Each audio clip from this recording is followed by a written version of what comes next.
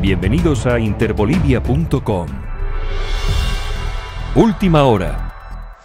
Bueno, pasan las horas, pasan los días y se conocen nuevas denuncias de irregularidades y actos de corrupción al interior de las diferentes instituciones públicas. Vamos a hablar de un allanamiento y del precintado además que realizó la Fiscalía del Distrito de La Paz la jornada de este pasado martes en la Gerencia Distrital 1 del Servicio de Impuestos Nacionales en la sede de gobierno. Vean ustedes, la información se la ha manejado eh, con muy bajo perfil, es decir, no se ha dado hasta el momento información oficial por parte de la Fiscalía del Distrito en la sede de gobierno. Sin embargo, información oficial a la cual hemos accedido como medio de comunicación da cuenta de que se presentó una denuncia ante la unidad de transparencia del Servicio de Impuestos Nacionales. La doctora Teresa Paredes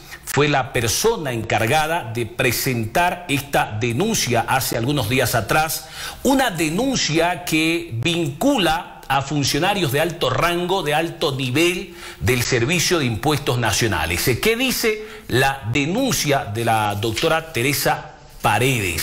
Manifiesta que un buffet de abogados de nombre o apellido Villegas en La Paz estaría negociando la condonación o la extinción de el pago, o más bien de la extinción de montos que adeudarían determinadas empresas a el fisco a través del Servicio de Impuestos Nacionales. La denuncia dice que es más, un abogado de este bufet de apellido Villegas estaba todo el tiempo presente en las oficinas del Servicio de Impuestos Nacionales y allí altos funcionarios le proveían la información, los contactos y los nombres de aquellas empresas que tenían abultadas deudas eh, por concepto de impuestos con el Estado boliviano. Esta persona que representaba, según la denuncia, al bufet Villegas, se encargaba de contactar a los posibles clientes a quien les ofrecía eh, sus servicios eh, para poder extinguir reducir o condonar la deuda que tenían determinadas empresas con el Estado boliviano a través del Servicio de Impuestos Nacionales. A raíz de esta denuncia, la Fiscalía intervino la jornada de este pasado martes muy pero muy silenciosamente la gerencia distrital 1 del Servicio de Impuestos Nacionales en La Paz no se ha dado hasta hoy, que es martes, ninguna información respecto a estos presuntos actos y hechos de corrupción. Sin embargo, información a la que accedió la red Gigavisión da cuenta que a raíz de la intervención del Ministerio Público, la gerencia, el presidente ejecutivo más bien del Servicio de Impuestos Nacionales, habría procedido ya a la destitución de Jorge Ledesma Salomón, quien ocupaba el cargo de la gerencia distrital 1. También se habría procedido ya a destituir de su cargo a la jefa del Departamento Jurídico de Impuestos Nacionales, María Yolanda Vargas al igual que el supervisor técnico jurídico Roy Mancilla. Vean ustedes, esta es la información que hemos eh, logrado recabar en las últimas horas. No hay hasta el momento información oficial por parte de la Fiscalía y menos aún del Ministerio de Economía, teniendo en cuenta que es esta cartera de Estado la que tiene bajo su tuición a esta dependencia del Estado boliviano, el Servicio de Impuestos Nacionales. No olvidemos que supuestamente esta organización criminal que hubiese, se hubiese constituido en impuestos nacionales tenía la misión de llegar y conectarse con un bufete de abogados, efecto de favorecer en los fallos a algunos contribuyentes en aspectos de la prescripción. ¿Qué denuncian ustedes ante la Fiscalía? Entre otras cosas, y, entre varios delitos, supuestos delitos penales cometidos, se encuentran y hemos denunciado referente a lo que es incumplimiento de deberes, lo que es eh, conclusión y tráfico de influencias. Doctor, tenemos en nuestra mano parte de la denuncia que ha presentado la señora Paredes. La doctora Vargas, en este caso, dice que el abogado de este bufete que negociaba la prescripción de las deudas impositivas de empresas eh, era o fue presentado como asesor jurídico del doctor Mario Renato Nava Morales, es decir, usted. ¿Esta persona, este abogado que representaba este bufete, lo representaba usted en estas negociaciones? En lo absoluto, desmiento totalmente, toda vez de que no olvidemos que se está destruyendo aquí una, una supuesta red de corrupción, una supuesta organización criminal que hubiese conformado a la gerencia distrital 1.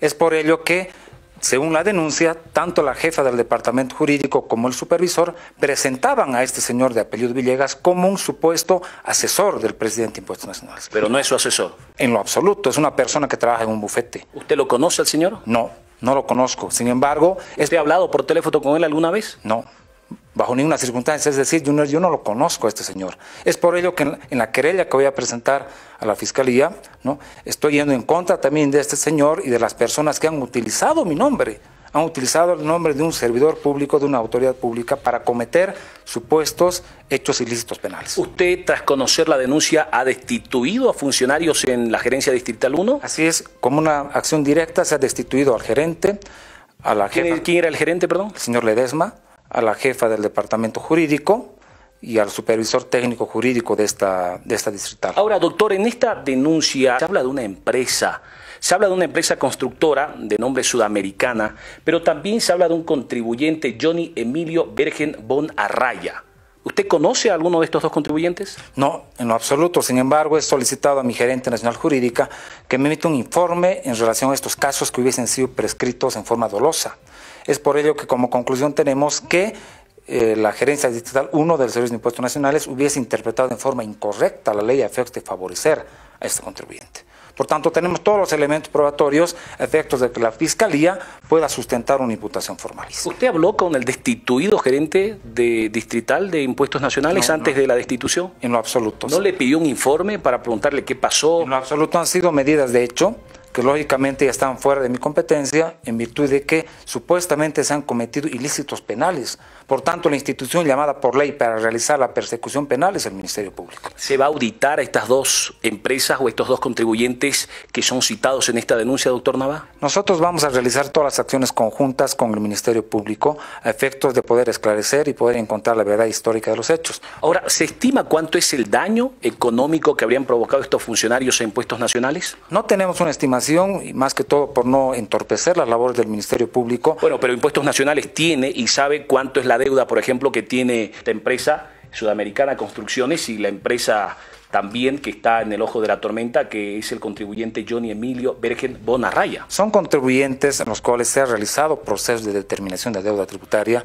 y por ende se ha determinado un monto sujeto a pago al fisco. ¿Cuánto es el monto que No, adeudan? no tenemos determinado en este momento, Junior, porque son varios casos. Pero va a pedir un informe. Con seguridad. Voy a pedir un informe no solo a la Distrital 1, sino a mi gerente nacional jurídica, a efectos de que nosotros podamos cuantificar. ¿Son el- millones o son miles, doctor? No, no tengo en este momento la cifra. Estimamos que son millones de bolivianos que hubiesen ocasionado daño al Estado por actos dolosos y actos presuntamente delincuenciales de exfuncionarios de la Gerencia Distrital 1 del Servicio de Impuestos Nacionales. Ahora, ¿qué pasa con la gerencia distrital? ¿Ha posesionado, ha designado usted algún interventor? ¿Hay alguna persona que esté allí a cargo? Efectivamente, Junior, hemos designado una gerente distrital interina, efectos pueda administrar y organizar todos estos aspectos y actos irregulares que conjuntamente tienen que ser investigados con el Ministerio Público. ¿Cuándo conocemos cuánto deben estos dos contribuyentes, doctor? ¿Cuándo el país?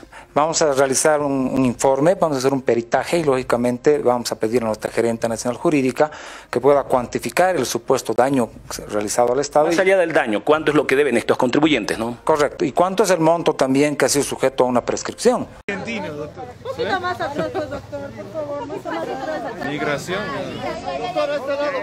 Así, o sí, Fiscal, buenos días. En, la- en los últimos días ha presentado impuestos nacionales, ha denunciado que un bufete de abogados estaría negociando la prescripción de deudores de contribuyentes. ¿Por qué motivo se da esta situación, por favor, fiscal? Muy buenos días. Es importante aclarar que el Ministerio Público ha recibido una denuncia de la Unidad de Transparencia del Servicio de Impuestos Nacionales, por lo cual se ha procedido ya el día de anteayer a hacer el registro del lugar del hecho, presentar las oficinas del gerente distrital y de la jurídica. El día de hoy en la mañana, me imagino que en estos momentos se está desarrollando nuevamente ya el desprecintado y el secuestro de documentación y computadoras necesarias para la Fiscalía, objeto de llegar a la verdad histórica de los hechos. Recalcar el siguiente extremo. se basa en sentido, la denuncia se basa en sentido de que estas personas estarían negociando con bufetes de abogados la prescripción de deudas tributarias cuando estas aún no estaban vencidas. Por lo tanto, el Estado estaría dejando de percibir sumas de dinero importantes, objeto también de que benefician a toda la población. El Ministerio Público ya está actuando. Una vez terminado el acto, se va a conformar también la comisión de fiscales correspondiente. Hay, hay- hay personas detenidas. ¿Cuántos, Hay personas detenidas, fiscal. por ¿Cuántos no. involucrados?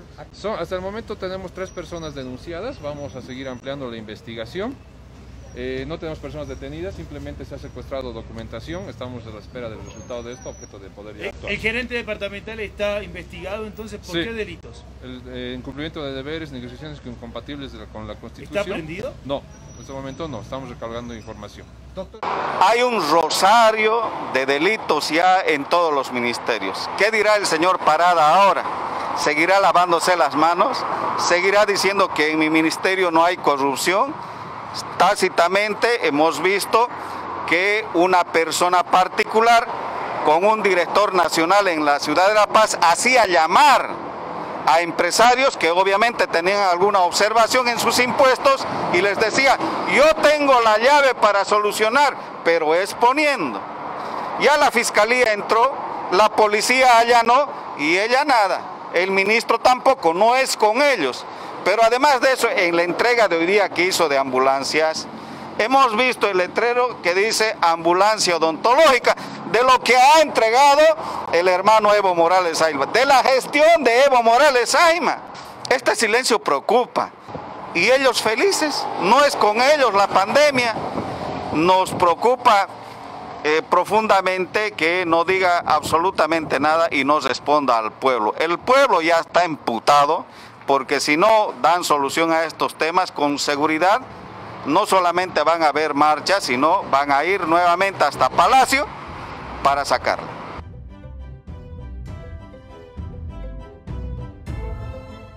El reportero eres tú. Subimos vídeo y contenido todos los días. Suscríbete a nuestro canal y no olvides activar la campanita para que te llegue todas las notificaciones.